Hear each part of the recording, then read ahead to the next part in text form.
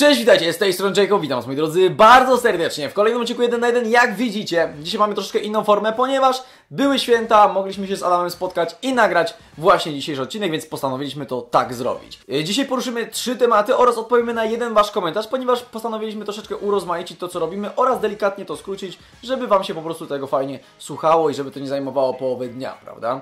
E, no to co, zaczynamy. Zaczniemy od komentarza z zeszłego odcinka, e, gdzie Łukasz Bednarek napisał Adam, nie ogarniam, co ty powiedziałeś. Chodzi o rzut karny, według ciebie wyszło na to, że jeżeli drużyna, która gra o puchary i drużyna, która ma pewny środek tabeli, em, to znaczy, że można pomóc komuś, kto jest wyżej. Ja to przetransformuję na to, czy em, dlaczego jednym się pomaga, a drugim nie. Od czego to zależy? To znaczy na pewno nie ma reguły. Ja z perspektywy sędziego bardziej odnosiłem się do tego, że pod dużą presją znajdował się w danym momencie Michael Oliver i to na pewno wpłynęło na ten ośrodek decyzyjny, który w tym momencie się w jego głowie znajdował. Gdyby to był mecz, nie wiem, z rangi Arsenal Norwich i byłoby 2 do 0 dla kanonierów, to myślę, że zdecydowanie łatwiej byłoby podjąć decyzję o rzucie karnym niż w przypadku takiego dużego, napompowanego widowiska, jakim są derby Manchesteru.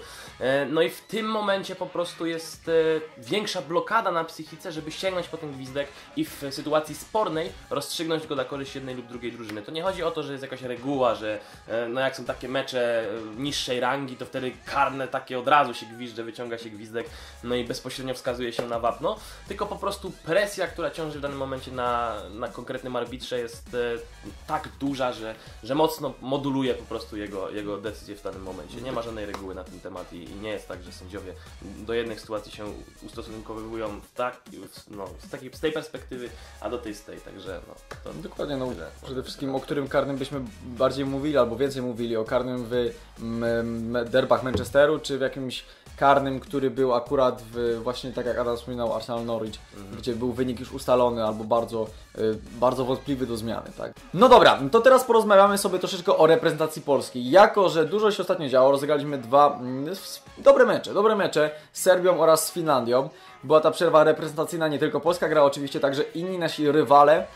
Także y, możemy troszkę podyskutować. Tutaj Polska zmieniła się od ostatnie, ostatnimi czasy. Nawałka naprawdę, wydaje mi się, wprowadził jakoś do tej drużyny. Podoba mi się to i chyba każdemu Polakowi, jeżeli nasz zespół wygrywa. No i muszę powiedzieć, że tutaj tak się zastanawiałem ostatnio, na czym polega ten fenomen Nawałki i kojarzyło mi się to z jednym e, takim trenerem, menadżerem wielkim, który bardzo powiązany jest z moim klubem. Teraz dajcie mi się od razu wytłumaczyć po tym, jak powiem, że Nawałka to jest w pewnym sensie taki Alex Ferguson i chodzi mi tutaj o, e, o to, że z tych przeciętnych zawodników potrafi nieraz zrobić ludzi, którzy grają naprawdę super. E, Nie, nie mówię o innych aspektach, mówię o tym jedynym, bo Sir Alex Ferguson też potrafił postawić jakiegoś, za przeproszeniem, drewniaka w Manchester United, który rozgrywał za każdym razem swoje spotkanie życia. I nikt nie wiedział, jak to się dzieje, a oni wygrywali nie takim jakby, nie wiadomo jakim składem, e, wysokie, wi- wielkie trofea i to mi się właśnie kojarzy właśnie z tym trenerem. No jest coś takiego rzeczywiście w nawałce, że sprawia wrażenie głównego spoiwa w tej naszej kadrze i w tej chwili na pewno prezentuje się zdecydowanie lepiej niż Fornalik i Smuda.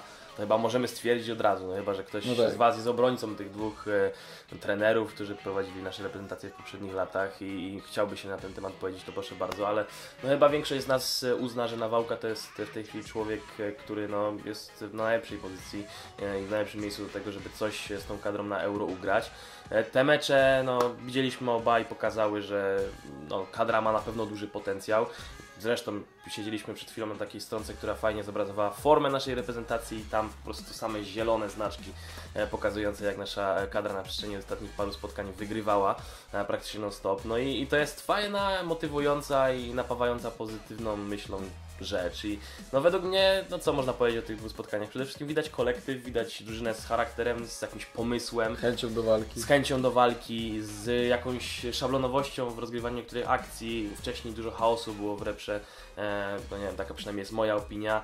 Dodatkowo widać, że to nie jest przede wszystkim to, czego się wszyscy obawiali, czyli kadra, nie wiem, na przykład tylko Lewandowskiego, że wokół niego jest zbudowany zespół i na nim będziemy bazować swoją grę na euro. Jeżeli coś się lewemu by stało, to w tym momencie jesteśmy no, pogrzebani.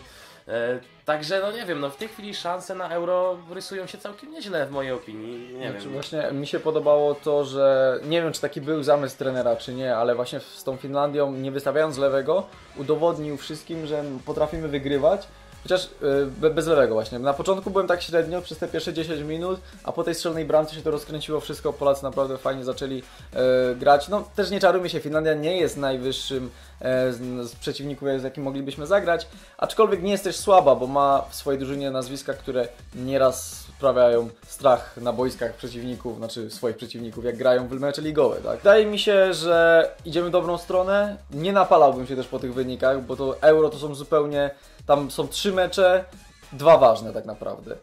Więc co się w nich stanie, nie wiadomo. Może być gorsza dyspozycja. No a jeszcze tak zapytam się Ciebie, byłbyś za wymianą trenera, jeżeli by nam na, Pols na Euro nie wyszło?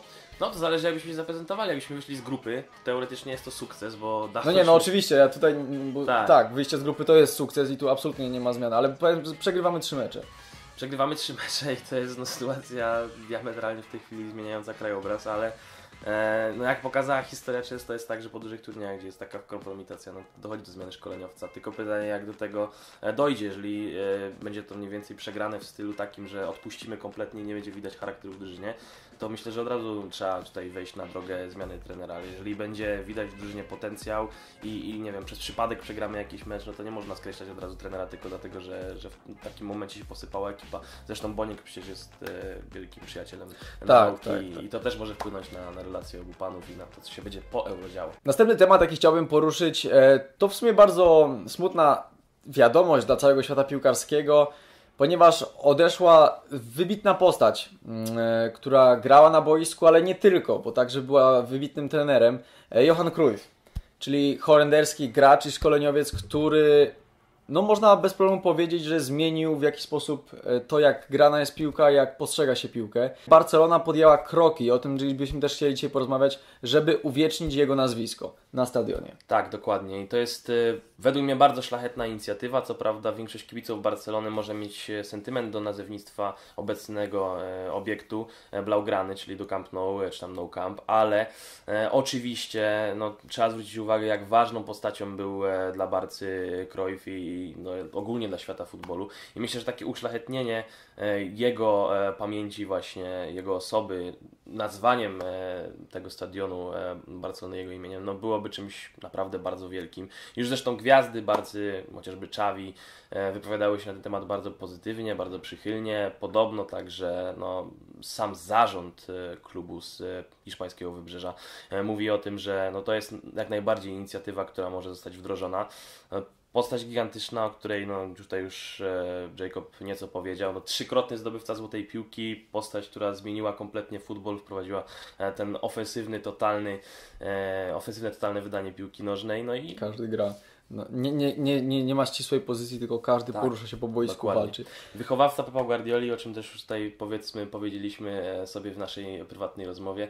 E, dodatkowo no, człowiek, który wprowadził Barcelonę na te największe europejskie Tak, tak. E, no dlatego wiesz, teraz także... to tak...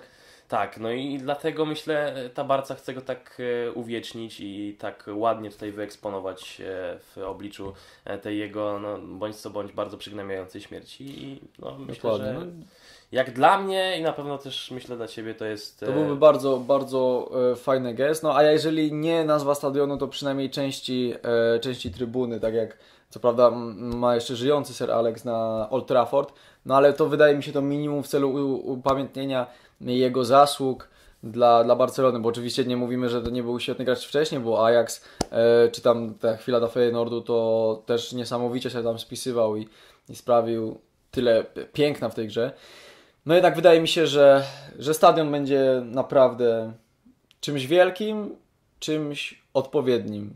I na pewno nikt nie będzie miał żadnego sprzeciwu tak, co, do, teraz, co do zmiany tej nazwy. Teraz w sobotę się też rysuje świetny pojedynek e, w kontekście meczu El Clasico. El Clasico i jak będzie jestem ciekawy, wyglądać. Właśnie, jestem ciekawy jak trybuny oraz całe przygotowanie zostanie tego spotkania.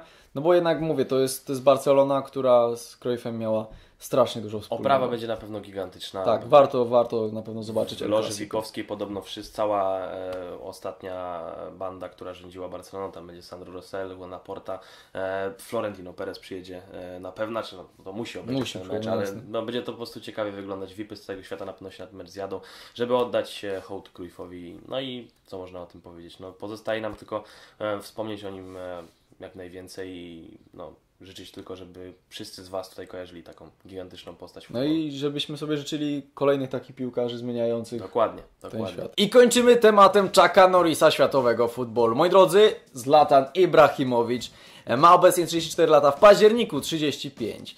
No i krążą plotki, że miałby przejść do Premier League, a dokładnie do Arsenalu. Oczywiście są to tylko plotki, ale chcielibyśmy tutaj nie rozwodzić się na tym, e, nad samym transferem, a nad jakby faktem tego, że jakby nie było, piłkarz, który teoretycznie nie, nie jeden już kończy karierę w tym wieku, a on gra dalej, w ligę gra na najwyższym poziomie, ale czy byłby w stanie utrzymać ten poziom, przechodząc do jakby nie było ciężkiej ligi? No, plotki plotkami oczywiście, tutaj możemy sobie dywagować na ten temat, ale temat jest y, bardzo interesujący przy tym również, więc no warto się myślę y, przy nim zatrzymać. czy dałby sobie radę i czy utrzymałby swoją legendę na odpowiednio wysokim No poziomie? właśnie, bo to też nie chce tak, się zepsuć. no to jest y, ciekawa, ciekawa rzecz. No, Zlatan nigdy w Anglii nie grał, co prawda miał e, oferty, obserwował go podobno e, swojo, swoje, swojego czasu Wenger. No i ogólnie rzecz biorąc, no, miał predyspozycję do tego, żeby kiedyś w swojej karierze się z Wyspami spotkać. Teraz może domknięcie kariery takim epizodem właśnie na Wyspach e, byłby no, takim ukoronowaniem jego e, fantastycznej kariery, bo to przecież trzeba mieć na uwadze.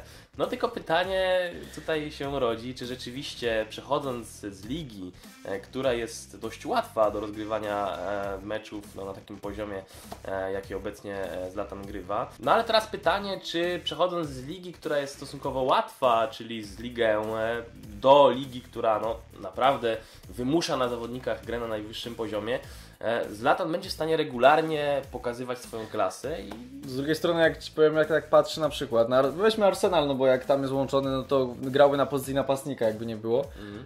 No to nie powiem, żeby Zlatan miał mniejsze umiejętności niż Giroud na przykład, tak? no, ta, Więc jeżeli Giroud, pomimo tego, że jest młodszy, jest w stanie się wpasować do Arsenalu, e, no nie ma jak, to nie jest tak, że Giroud biega jak Walcott po boisku tam teoretycznie i z powrotem, więc byłby bardzo podobny po do Zlatana. No to nie wiem, czy by Zlatan sobie lepiej nie poradził w tej roli. No tak, no pytanie. To jest bardzo ciekawa, otwarta kwestia. Oczywiście lata lecą i, i na pewno to jakieś piętno na, na Ibrze wywiera. E, jak Chociaż duże, e, to myślę, że tak intensywny sezon, jaki jest e, w angielskiej elicie, e, by zweryfikował i pokazał rzeczywiście. E, jak szwedzki piłkarz e, sam do tego się odnosi? Na pewno przychylnie, bo to jest taki globetrotter, który chciałby zwiedzić pewnie większość e, tych takich największych Zawsze lig. może pojechać do Chin. Zawsze może pojechać do Chin, ale to może zrobić lata nawet mając 45 lat, tam go przyjmą z otwartymi ramionami. Będzie zarabiał większe pieniądze niż teraz e, standardowy piłkarz w topowym angielskim klubie, Tak. znając życie, także no chińska ekstraklasa jest zawsze tym ostatecznym wyborem, żeby jeszcze może na tą piłkarską emeryturę coś sobie dorobić i całkiem... Coś sobie no, dorobić. Coś sobie dorobić, coś całkiem 70, sporego. ostatnio, ostatnio oferta 75 milionów bodajże euro za rok grania. No, także astronomiczne kwoty. Kwestia tego, czy to jest dobre, czy nie, to już jest inny temat. Według No. mnie oczywiście nie. E, To są pieniądze tak gigantyczne i tak abstrakcyjne w kontekście tej ligi, że to już psuje światowy futbol, no ale to jest temat na inną rozmowę. Dokładnie. E, Pytanie jeszcze do, do Was oczywiście i do Jacoba, czy, czy uważasz, że, że taki Ibra, e, który jest piłkarzem no, mm, dość nietuzinkowym, ale też takim nieokrzesanym, e, komponowałby się w tą presję, która w, w Premier League panuje, gdyby na przykład mu nie poszło, bo zauważmy, No i właśnie że... tutaj jest ta kwestia, kwestia tego, trzeba, jak, jak to mówią y, słowa słynnej piosenki, trzeba wiedzieć kiedy ze sceny zejść, no, niepokonanym, tak? No i ja mam tak, znaczy nie zdobył nigdy Ligi Mistrzów z Latan, ale, ale jak dla mnie naprawdę osiągnął strasznie dużo i pokazał się z najlepszej strony i w pewien sposób niepokonany jest, to jest już pewna legenda futbolu, przez te bramki strzelone, przez nawet zachowanie jego. Czy jeżeli co nie wydaje mi się jakby za bardzo, patrząc na nadal jego umiejętności i to, co on, co on robi na boisku. Em, czy poradziłby sobie Premier League? Jeżeli nie, no to byśmy naprawdę byli świadkiem takiego dość nieprzyjemnego e, incydentu. Mówię bardziej o, o, o samym, samym fakcie jakby zniszczenia piłkars nie piłkarskiego, ale mówię takiego swojego imienia, takiej, takiej swojej legendy, która zawsze była wokół Ciebie. No, nadszarpnięcia każde twoje, ka, każde Dokładnie. Twoje działania mają jakiś tam na to wpływ. To jest też inny temat, bo tutaj można... mm, Chociaż może oczywiście się ze mną nie zgadzacie i uważacie, że to w ogóle nie jest nic wspólnego, no to już Tak. oczywiście możecie napisać. Ale to oczywiście jest inny temat, bo to można No. potem powiązać i na przykład No, dokładnie. dać Zidana w Realu, czy, O, czy dobrze, że teraz trenuje, Chociażby, czy na no. przykład tak padło te, takie pytanie też, czy Giggs e, powinien być trenerem United, czy to jest dobry moment odpowiedni dla niego, mówić także w kontekście kontekście Arsenalu o przyjściu Henriego, że on mógłby trenować.